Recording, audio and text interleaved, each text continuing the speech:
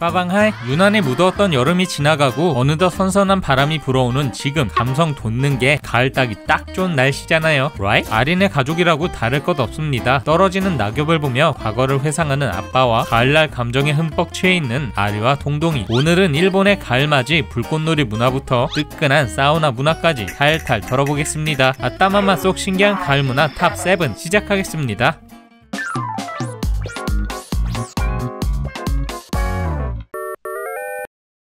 모두가 잠든 새벽 동동이를 깨우는 한 사람이 있었으니 바로 아빠 갑자기 생선회를 먹으러 가자며 동동이를 깨운 건데요. 영문도 모른 채 끌려 나오죠. 사건의 전말은 이렇습니다. 일주일 전 TV를 보던 가족들 자연산 장어초밥 먹방을 보게 되었으니 먹음직스러운 장어초밥에 군침이 꼴깍 넘어갔죠. 한 번이라도 좋으니 자연산 장어초밥을 먹어봤으면 좋겠다는 동동이와 엄마. 그때 뒤에서 이를 지켜보던 아빠는 남몰래 낚시 계획을 잡은 거라고 그렇게 몇 시간에 걸쳐 도착한 부둣가 아빠는 자연산 장어를 맛보게 해주겠다며 당당히 발걸음을 옮기는데요. 와, 장어는 야행성이라 못 잡는다는 선장 아저씨의 이야기. 새벽부터 생고생하며 왔더니만 모든 게 헛수고가 되었네요. 이후 집 근처 낚시터에서 해맑게 낚시를 하는 걸로 마무리. 일본의 가을은 눈부신 단풍과 함께 낚시의 계절로 유명합니다. 가을은 여름에 비해 해수온이 적당히 안정되어 다양한 어종을 만날 수 있는데요. 낚시 애호가들에게는 천국과도 같은 계절이죠. 특히 가을이 제철인 생선은 지방과 살이 차올라 있어 구워 먹어도 회로 먹어도 졸여 먹어도 그 맛이 일품 그 잡채. 일본인에게는 가을 낚시는 일상이나 마찬가지죠. 인기 스팟마다 인기 물고기의 종류도 다릅니다. 먼저 가장 북쪽에 위치한 홋카이도. 홋카이도의 9월 10월 11월은 낚시의 성수기입니다. 이 시기에는 많은 제방 방파제에 낚시꾼들로 북적이는데요. 이런 모습 또 이런 모습. 홋카이도에서 가을에 낚을 수 있는 추천 물고기는 세 종류입니다. 바로 이면수어 연어 송어. 특히 이면수어는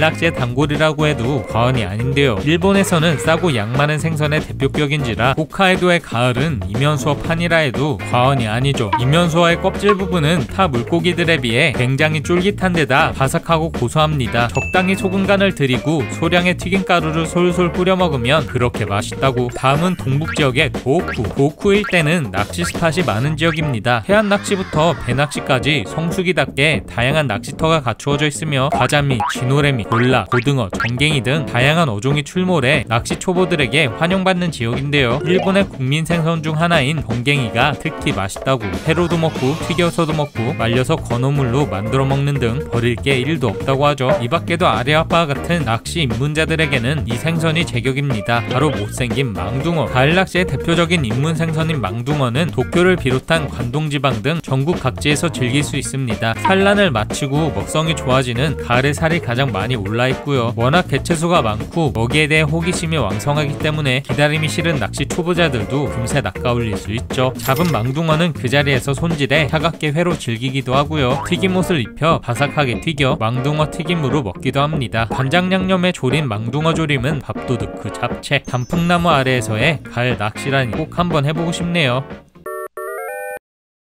지하철역 앞에서 전단지를 가져온 아리. 어디 보자. 안반 찜질방. 몸 위에 뜨거운 돌멩이를 올린다니 생각만 해도 소름이 쫙 그때. 웬일인지 아빠는 빨리 가자고 하는데요. 엄마는 첫 방문인지라 가기 싫은 눈치였습니다만 가을 날씨도 시원하니 그만 먹고 방문하기로 결정합니다. 다음날 안반 찜질방에 도착한 두 사람. 역시 이름값 제대로 하는 이곳. 여기도 돌 저기도 돌. 사방이 온통 안반 투성인데요. 놀랄 틈도 없이 직원을 따라가자. 이번에는 어마어마한 크기의 안반 침대가 딱 너무 뜨겁진 않을까 걱정했습니다만 딱 좋은 온도에 몸이 사르르 녹아버립니다. 그렇게 뜨끈한 안반 위에서 찜질을 시작한 엄마와 아빠 쌓였던 피로도 풀고 땀도 쭉 빼고 밖으로 나와 시원한 물 한 모금.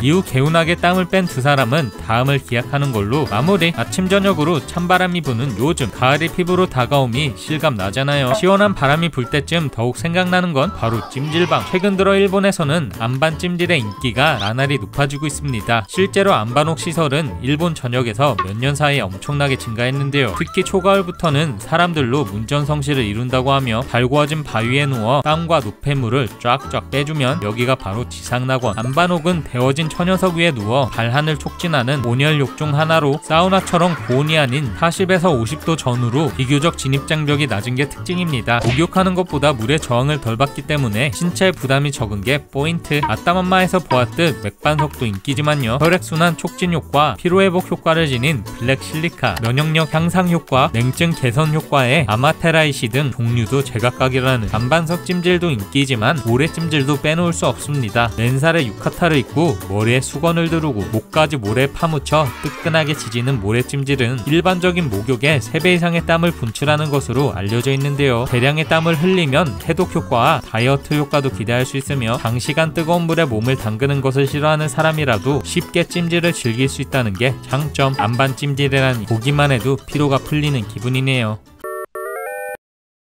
푹푹 찌던 여름의 끝자락. 집에서 빈둥대던 아리는 엄마의 잔소리 폭격을 맞고 있었는데요. 그때 한 통의 전화가 걸려오고 원중이가 우연히 불꽃놀이 티켓을 구했다며 저녁에 다같이 보러 가자는 전화였죠. 그렇게 시간이 흘러 약속 장소에 도착한 태규, 혜정이 그리고 아리. 하지만 어째 한참을 기다려도 보이질 않는 원중이 혹시나 하는 마음에 전화를 걸어보니 일로와. 급성 장염에 걸렸다며 불참하겠답니다. 불꽃놀이 표도 없고 장소도 헷갈리고 멘붕에 빠져버린 세 사람 뭐? 그래도 기왕 나왔으니 찾아가 보기로 하죠. 그렇게 공사장을 지나 편의점을 지나 한참을 걷고 또 걷던 바로 그 순간 멀리서 들려오는 폭죽 소리. 비록 아파트 단지에 가려 잘 보이진 않았지만요. 나름 행복한 불꽃 축제를 즐기는 걸로 마무리. 여름이 시작될 때부터 가을이 절정에 이를 때까지 일본 전역에서는 수많은 불꽃 축제가 개최됩니다. 여기도 저기도 밤만 되면 하늘에 화려한 불꽃이 펑펑 전국 각지에서 불꽃 축제가 개최되기 때문에 불꽃 축제 수는 무려 1000개가 넘는다고 할 만큼 많죠. 하지만 일본의 불꽃 축제를 더 재밌게 즐기기 위해선 이것을 주목해야 합니다. 바로 불꽃의 디자인. 일본의 불꽃 연화는 꽃 모양을 연상시키는 디자인이 많습니다. 하나비를 한자 그대로 옮기면 화화, 즉 불꽃을 뜻하며 명칭처럼 불꽃에 국화나 모란 등과 같은 꽃 이름이 붙어 있는 것에서도 밤하늘에 피는 꽃에 비유했던 것을 알 수 있죠. 일본의 불꽃놀이에서 흔히 볼 수 있는 종류는 와리모노, 포카모노, 한와리모노로 분류됩니다. 첫째, 와리모노. 와리모노는 구형체로 넓게 퍼지는 불꽃을 가리키는 말로 불꽃이 점화되면 빛을 발하하면서 사방팔방으로 흩날리는 게 특징으로 불꽃의 원형으로 화려하게 퍼져나가는 모습은 세계에서 가장 아름답다라는 극찬을 받고 있죠. 둘째, 포카모노. 포카모노는 불꽃이 상공에 이르렀을 때 두 개로 나뉘어 안에 가득 차 있던 별이나 세공을 방출합니다. 불꽃의 확산 범위가 좁은 것이 특징이며 내포하는 종류에 따라 다양한 표식을 가진 불꽃을 고안할 수 있죠. 마지막으로 한와리모노는 큰 불꽃 안에 작은 구슬이 몇 개가 들어있어 시간 차이로 밤하늘에 작은 꽃을 많이 피우는 불꽃을 터뜨립니다. 이곳 보세요. 와! 이처럼 다양한 불꽃이 많은 이유 바로 몇십 년 동안 하나비를 전문적으로 제조하는 장인들이 있기 때문입니다. 불꽃놀이의 화약구슬은 수제품이 줄을 이룹니다. 전문적으로 화약구슬을 다루기 위해서는 최소 10년 이상의 내공이 필요한데요. 꽃 모양으로 연화되는 디자인을 구하기 위해 면밀한 계산과 한 땀 한 땀 수작업으로 제작을 진행하며 하나비 장인이 되기 위해서는 전문 제조회사에서 오랜 시간 훈련을 한다고 하죠.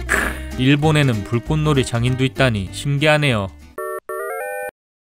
떨어지는 낙엽만 봐도 감성에 젖는 가을. 선남이와 길을 걷던 아리는 괜스레 서글퍼집니다. 딱히 별다른 이유는 없고요. 벌써 가을이 찾아온 것 같다며 우울해진 거라고 하죠. 가을은 왜 이렇게 허무하고 슬픈 걸까? 조금만 더 있으면 올해가 끝이 나서 그런 걸까? 아리의 감성 터지는 일화는 여기서 끝이 아닙니다. 며칠 전 혼자 비디오 영화를 시청하던 아리. 로맨틱 코미디에 가까운 줄거리에 우스꽝스러운 연출이었지만요. 어느 핀트에 감동을 받은 건지 갑자기 눈물을 쏟아낸 적도 있고요. 선물 받은 블루베리 잼 쌤이 몇 달에 걸쳐 바닥을 드러내자 괜시리 서글퍼져 눈물을 흘린 적도 있고요. 수업시간 원중이가 아리의 지우개를 몰래 빌려갔을 때에는 괜히 분해서 울고불고 난리를 쳤던 적도 있죠. 가을을 타는 것 이처럼 일본도 마찬가지입니다. 일본의 가을은 일반적으로 9월부터 11월 말까지 이어집니다. 일본 전역에서는 아름다운 풍경을 주제로 한 가을 축제가 펼쳐지고요. 화려한 단풍 풍경과 함께 온천에서 몸을 담그기도 하죠. 하지만 일본에서 가을의 정취를 한껏 만끽할 수 있는 곳은 따로 있습니다. 있습니다. 바로 영화관. 일본에서 가을하면 영화관을 떠올리는 경우가 많은데요. 섬세하고 잔잔한 일상에 포커스를 맞춰 감정선을 풀어나가며 소설, 만화를 원작으로 하는 영화들이 다수 개봉하는데요. 높은 원작의 인기도는 가을철 영화의 흥행에 한몫하고 있죠. 그렇다면 우리는 왜 가을을 타는 것일까? 어느새 계절이 바뀌었다는 사실에 마음이 싱숭생숭해지고 한편으로는 쓸쓸해지고 떨어지는 낙엽을 보며 고독한 분위기에 취해보기도 하잖아요. 흔히 가을을 탄다라는 감정은 매우 자연스러운 현상입니다. 현상입니다. 바로 호르몬의 변화 때문인데요. 햇볕은 행복 호르몬이라 불리는 세로토닌과 수면을 유도하는 호르몬인 멜라토닌의 합성에 영향을 미칩니다. 여름에서 가을로 넘어가면서 밤은 길어지고 낮은 짧아지는 이 시기엔 일조량이 줄어들어 우리 몸 생체 리듬이 깨지며 우울한 기분을 쉽게 느끼는 상태가 되는데요. 일조량이 적은 가을에는 세로토닌이 줄어들고 멜라토닌이 증가하기 때문에 잠이 늘고 의욕이 떨어지는 현상이 나타나 계절성 우울증, 즉 가을을 타게 되는 거죠. 역시 가을 엔 감성 젖는 영화 한 편 보는 게 최고인 것 같네요.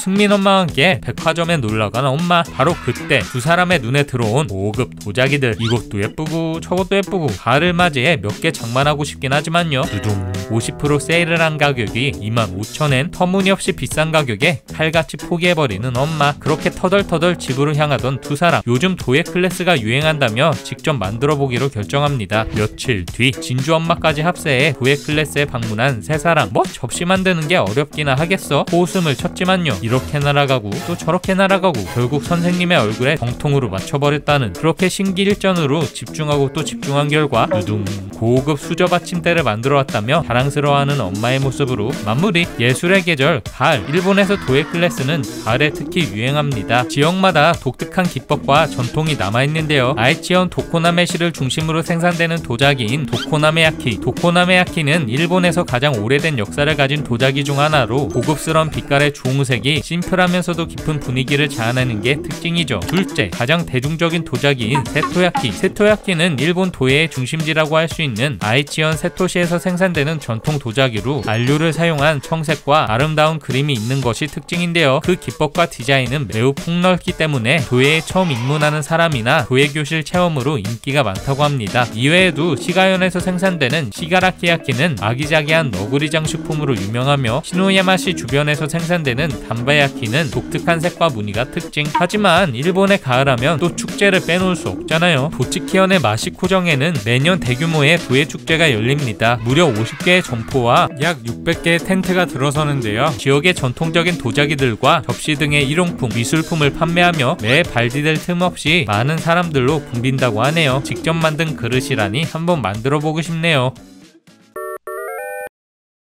가을이 찾아오면 모아둔 쌈짓돈이 탈탈탈 털립니다. 왜냐고요? 바로 결혼식 때문이죠. 아린의 가족 역시 결혼식을 피할 수가 없습니다. 오늘따라 일이 잘 풀리지 않는 듯한 아빠. 뭔가 하고 들여봤더니 축사를 쓰고 있었습니다. 가뜩이나 집중이 안 돼서 골머리를 쏟고 있는데 옆에서는 울고 떠들고 난리를 피우죠. 결국 대폭발. 자리를 박차고 일어나 동동이 방으로 찍진. 뭐? 여기라고 잘 될 리가 있나요? 몇 시간째 방에 틀어박혀서 쓰고 찍고 쓰고 찍고 무한반복. 이 많은 종이들 좀 보세요. 와? 아빠가 이렇게나 열중하는 이유. 바로 오촌 조카의 결혼식에서 친척 대표로 축사를 맡았기 때문입니다. 시간이 흘러 아침이 밝아오고. 와. 누가 봐도 밤을 꼬박 지새운 듯한 아빠의 몰골. 그래도 축사는 완성했답니다. 이후 달달 외워버린 축사로 자신감 넘치는 모습. 과연 그는 축사 연설을 완벽하게 마칠 수 있기는 무슨 원고를 집에 두고 왔다는 에라 모르겠다. 한 잔 두 잔 술 기운을 빌려보기로 하는데요. 뭔가 불길한 이 느낌 마침내 축사가 시작되고 패닉에 빠져버린 아빠. 그 순간 구세주 엄마가 등장. 자신감 자신감을 얻은 아빠는 축사 원고도 내팽개친 채 완벽히 연설을 끝마치는 걸로 마무리. 아빠 결혼식 축사를 하다 편에서 들여다본 일본의 결혼식 문화 우리나라와 매우 다릅니다. 우선 축의금이 얼마인지 아시나요? 최소 30만원. 네 기본이 3만엔부터 시작입니다. 가까운 친구거나 친인척인 경우에 5만엔. 여기서 조금 더 친분이 두터운 경우엔 7만엔. 그리고 그 이상까지 내기도 하죠. 우리나라는 관계별 상황별로 액수를 정하긴 합니다만 일본은 미니멈 30만원부터 시작인 셈입니다. 이유는 다 있는데요. 일본 결혼식 하객은 평균 60명 정도 정말 가까운 지인들과 친척들만 초대하죠. 결혼식 전에는 미리 초대장을 보내는데요. 여기에 참석할지 안 할지 반드시 체크해서 답장을 해야 합니다. 그렇게 친한 사람들과 소규모로 진행하기 때문에 축의금이 비싼 것. 그럼 왜 하필 30이냐? 2, 4, 6과 같은 짝수는 신혼부부에게 좋지 않은 영향을 준다는 풍습이 있는지라 홀수인 357에 맞추다 보니 이렇게 됐다고. 이뿐만 아닙니다. 축의금을 낼 때도 신경 써야 할 게 한둘이 아닌데요. 한국은 결혼식장에 가면 이런 흰색 봉투를 나눠받는 게 디폴트잖아요. 있잖아요. 일본의 축의금 봉투는 금액에 따라 달라지는 건 기본 장수와 축하를 의미하는 のし 장식은 필수이며 봉투에 묶여있는 매듭 또한 신경 써야 합니다. 이렇게 소수의 하객들로 구성된지라 아리 아빠가 밤새 그 난리를 칠만도 했죠. 그래도 축의금의 액수가 센 편인 만큼 고급 코스 요리에 음식이 괜찮은 편이라고 하네요. 결혼식 몇 번 참석했다가는 거덜나겠네요.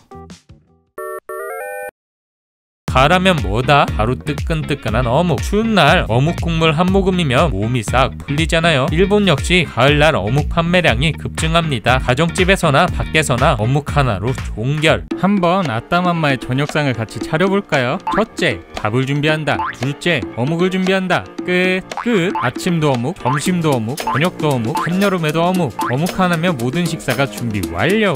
식사 준비 참 쉽죠잉? 아따맘마에선 온갖 종류의 어묵을 다 볼 수 있는데요. 어묵튀김 동그란 어묵 사각형 어묵 원통형 어묵 삼각김밥 어묵 맛있게 냠냠 해줍니다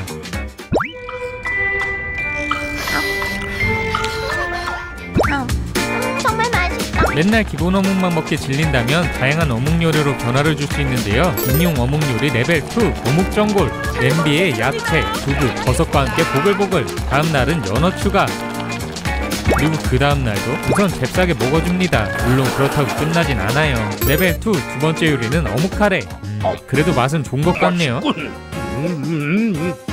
마지막으로 어묵라면 아따맘마의 어묵사랑 인정 라면에도 어묵이라니 그리고 응용 어묵 요리 레벨 3. 이 정도면 어묵의 신의 경지에 올랐는데요. 무려 미역 무침 어묵과 청국장 어묵. 대체 이것의 정체는 무엇이냐고요? 먼저 물에 불린 톳에 물기를 쫙 빼고 잘게 잘라줍니다. 어묵도 먹기 좋은 크기로 잘라주고요. 그릇에 청국장 두 팩과 물에 갠 겨자를 넣고 종전에 자른 톳을 넣고 섞어주세요. 도레미썰. 유자청도 넣고 잘라둔 어묵 위에 얹으면 청국장 어묵 완성! 와, 근데 보기만 해도 어묵에 질려버린 이 느낌은 뭐죠? 우리나라와 비슷한 듯 너무 다른 일본 문화. 날씨도 시원해지고 있는데 따뜻한 우동 한 그릇 땡기네요. 마무리. 아직 아따맘마 속 신기한 일본 음식 문화 6탄 영상을 안 보신 분은 이어서 봐주시고요. 영상이 재밌었다면 좋아요와 구독하기 그리고 알람 설정을 꾹 눌러주세요. 그럼 다음에 또 봅시다. 아이쇼?